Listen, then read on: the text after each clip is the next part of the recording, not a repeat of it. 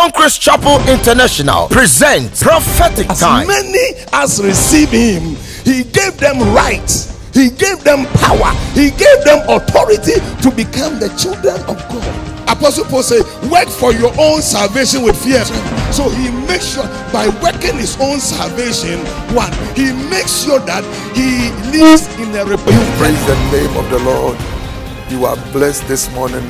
My name is Prophet Isaac Anto. I personally invite you to watch Prophetic Time on this station 7:30 every Saturday morning and your life will never be the same. Prophetic Time. The voice of the Lord for the night.